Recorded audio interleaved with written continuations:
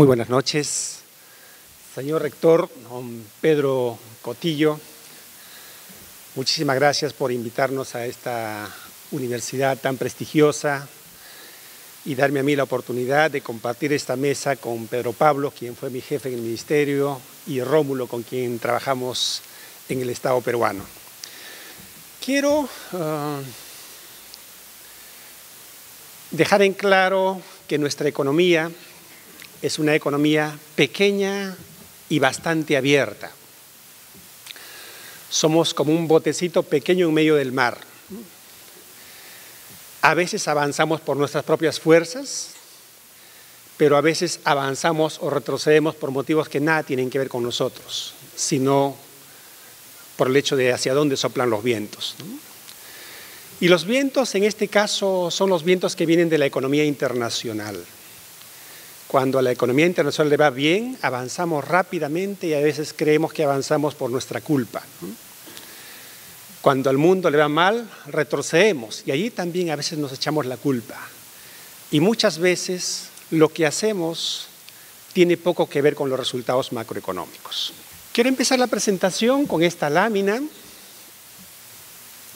que viene desde 1900 es la lámina del Producto Bruto Interno per cápita. Es una especie de ingreso real promedio de la, de la población peruana.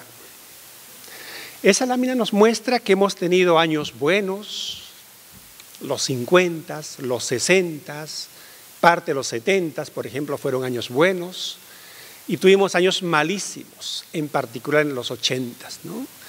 En 1990 nuestro nivel de vida era igualito que en 1960. Habíamos vivido 30 años por gusto. La buena noticia es que los últimos 10 años han sido los mejores de los últimos 112 años. Los jóvenes estudiantes que tienen 17, 20 años, la mitad de sus vidas lo han pasado en los mejores 10 años de la economía peruana desde, desde 1900. Estos chicos no conocen de hiperinflación, no conocen de recesión, no conocen de desempleo. Les ha tocado vivir, han tenido la fortuna de nacer a tiempo, en los buenos tiempos. Y lo que quiero fundamentar que este hecho tiene que ver con cosas buenas que hemos hecho, pero tiene que ver también con el excelente contexto internacional que la economía peruana ha tenido en los últimos 10 años. Nuestro país y cualquier país latinoamericano se conecta con el mundo fundamentalmente a través de dos canales.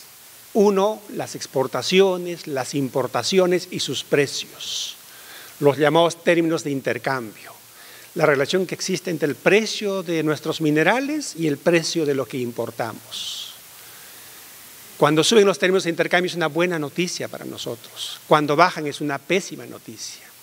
Y nosotros no tenemos nada que ver absolutamente con esos precios, son exógenos, vienen de afuera. Por eso que cuando estos precios suben uno dice buena suerte, cuando bajan mala suerte. Esta lámina viene desde 1980, o sea que podemos ver los 80, los 90 y los últimos 12 años. Lo que esta lámina muestra es que en los 80 nuestra, nuestra suerte fue mala. Los términos de intercambio que estaban bien arriba empezaron a caerse estrepitosamente. En los 90 no se cayeron más, pero tampoco se recuperaron. Y en los últimos 10 años esa recuperación ha sido importante, notable. Mala suerte en los 80, mejor suerte en los 90, muy buena suerte en los últimos 10 años. Eso es lo que muestran los datos. El otro canal importante que vincula a nuestras economías pequeñas con el mundo es el canal financiero, el canal de las tasas de interés, el canal de los flujos de capital. La lámina que tienen al frente es la tasa de interés del Banco Central de los Estados Unidos, la Fed. Cuando esa tasa de interés es alta, la plata se va del mundo subdesarrollado hacia Estados Unidos, porque es rentable tener la plata allí. Cuando esa tasa de interés es baja, la plata regresa a nuestros países porque es poco rentable tener la plata allí.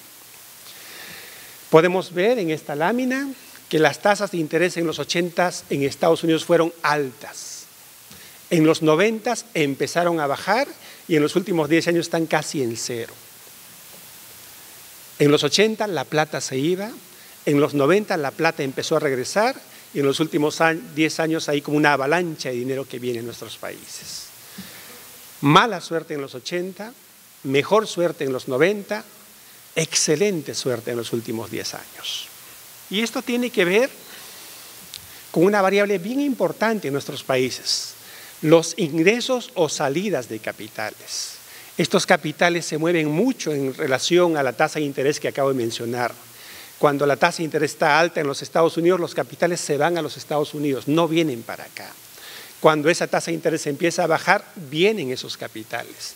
Y cuando esa tasa de interés está muy baja, vienen capitales a montones. Lo que vemos en esa lámina es eso. No entran capitales al país en los 80. De capitales estoy hablando de capitales de corto plazo, los capitales que llaman golondrina, inversión directa extranjera, privatizaciones, todo ese conjunto de capitales. No entran en los 80. En los 90 empiezan a entrar un poco más y en los últimos 10 años entran como nunca antes en la historia peruana.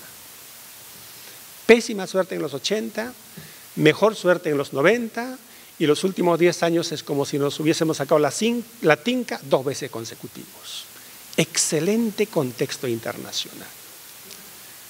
Uno no quisiera ser ministro ni presidente del Banco Central cuando los tiempos son malos, en los 80 a uno le encantaría ser cuando los tiempos son buenos en los últimos 10 años.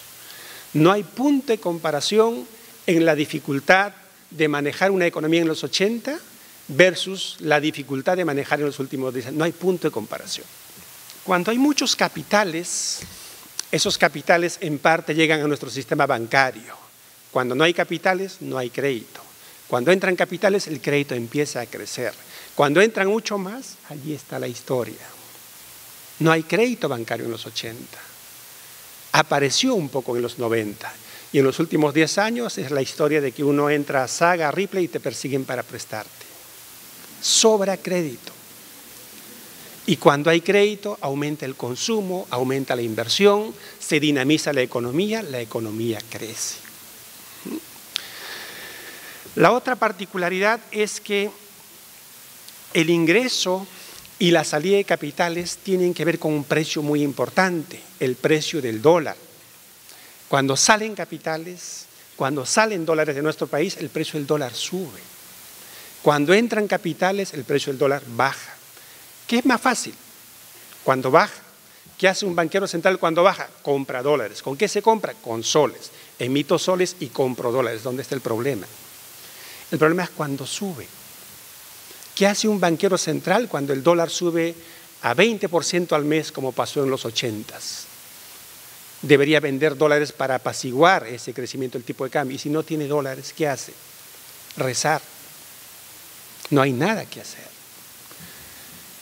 Y como nuestra economía es pequeña, abierta, casi todo lo que compramos tiene que ver con importaciones, con insumos importados.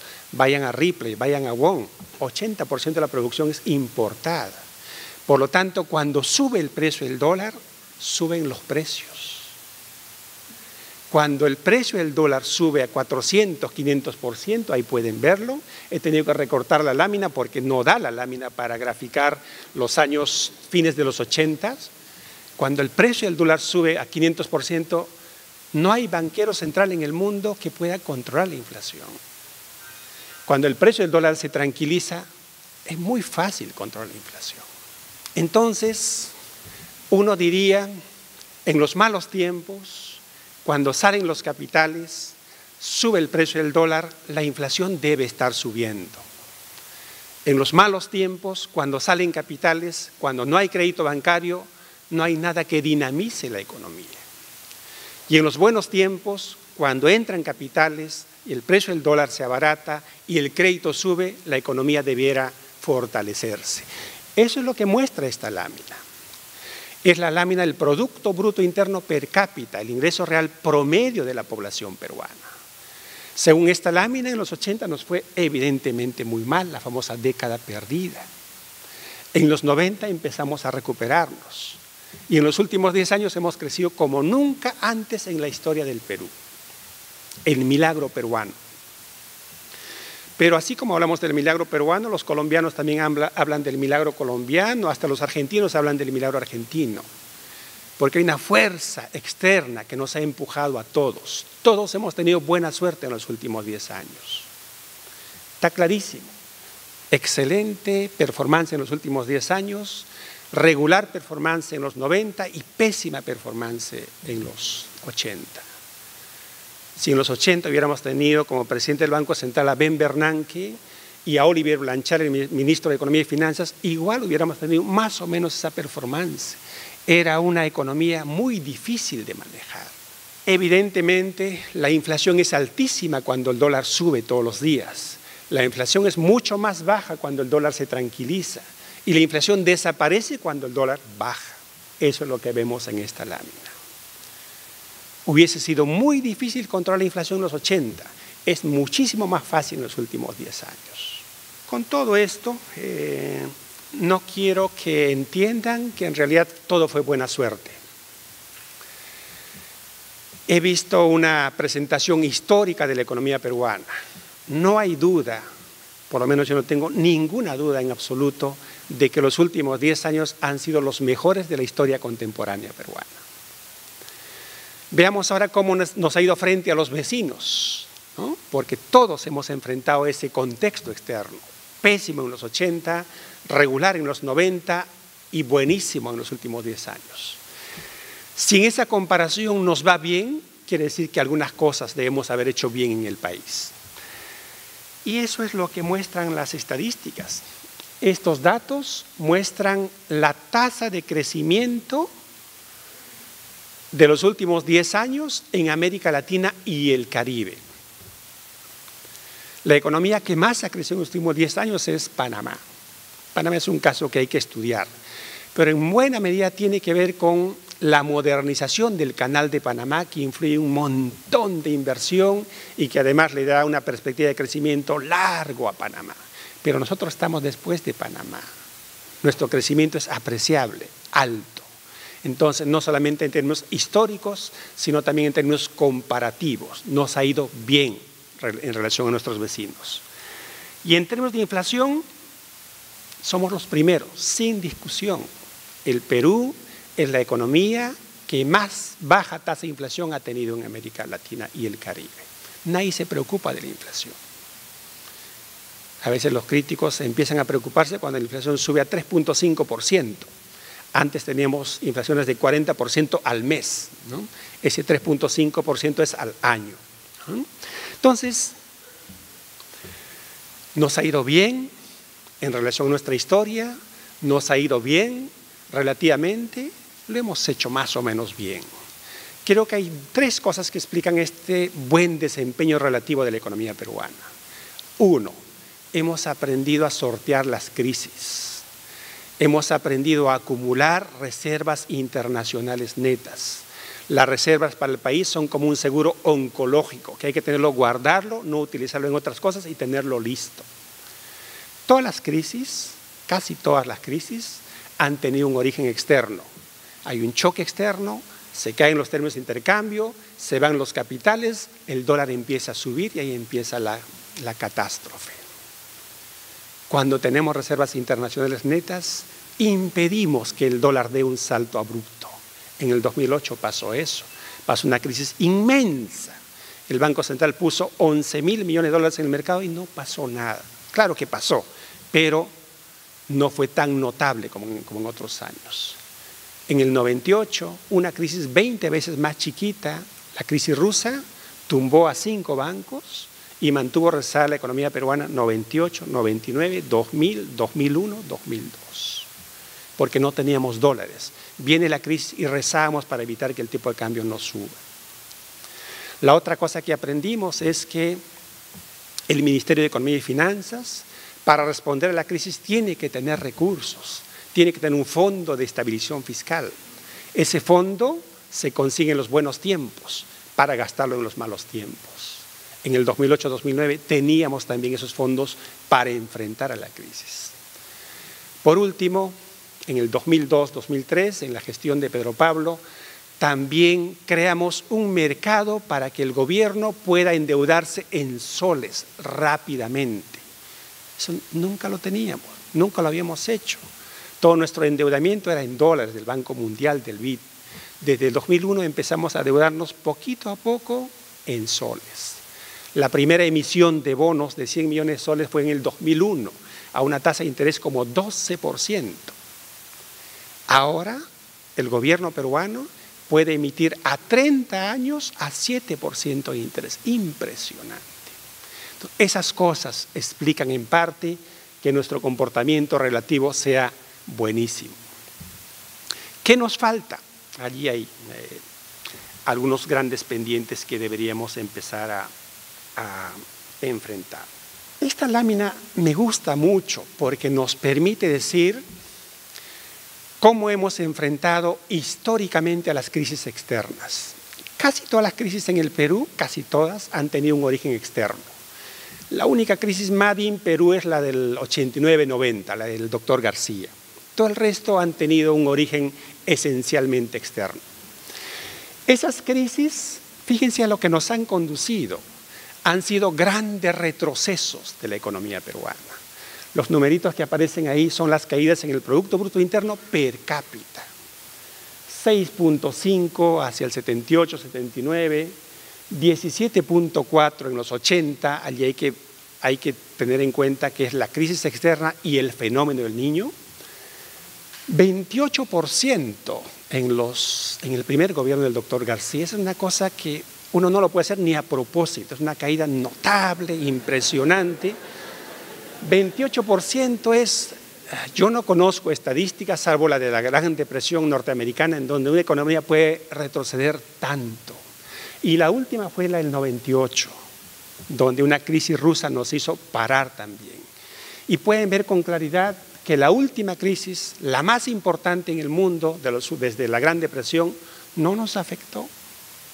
Lo enfrentamos bien, no se ve la del 2008-2009, no retrocedimos aprendimos. Entonces es una gran lección. Si solamente hubiéramos enfrentado bien esas crisis, si solamente hubiéramos tenido políticas macroeconómicas inteligentes, este país sería distinto. Con la misma educación, con la misma infraestructura, con las mismas instituciones, si solo se hubieran hecho políticas macroeconómicas como la de 2008-2009, este país sería otro. Tendríamos el PIB per cápita de Chile seguramente sin ninguna dificultad. Es una lección, felizmente ya hemos aprendido la historia, sabemos cómo enfrentar estos choques externos. Es difícil crecer sostenidamente a punta de lo que Dios nos ha dado. Algún grado de industrialización tiene que tener este país. Esta lámina nos muestra que la industria de hoy es, en términos de participación del PBI, casi la misma que los 50. O sea, no hemos avanzado nada. Normalmente un país avanza se desarrolla con un poquito más de industria. Allí tenemos también un camino grande por recorrer. Vivir de lo que Dios nos ha dado está bien, pero hay que aprovechar eso que Dios nos ha dado, los minerales, para avanzar en otras direcciones. Y en la misma línea eh, está la participación de las exportaciones mineras. Ahí está.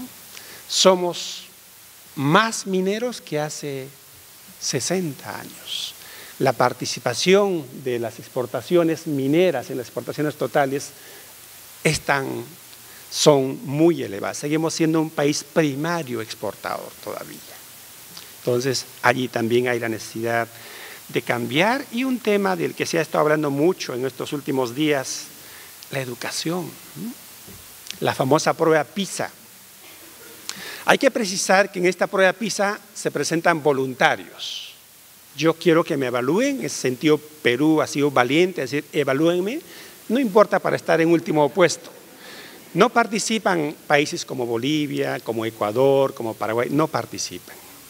Aquí participan en América Latina, Argentina, eh, Chile, Uruguay, México, Colombia. Entonces, comparándonos con esos 65 países que se someten a esta muestra, estamos últimos en lectura.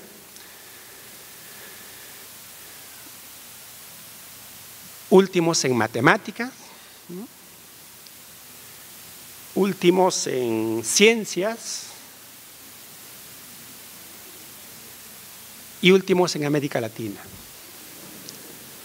Entonces, la tarea de la política macroeconómica ya está, creo, bien trazada, no hay muchas innovaciones que hacer. Se sabe qué hacer con el gasto público, con la tributación, Banco Central sabe es un negocio. Tenemos retos más interesantes, más grandes, más, más fascinantes. ¿Qué hacer con la educación? ¿Cómo hacer que el Perú sea un poquito más industrializado?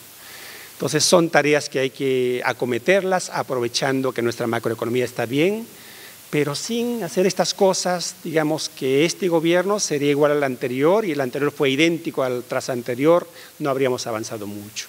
El reto está en aprovechar este excelente manejo macroeconómico para hacer las cosas complicadas.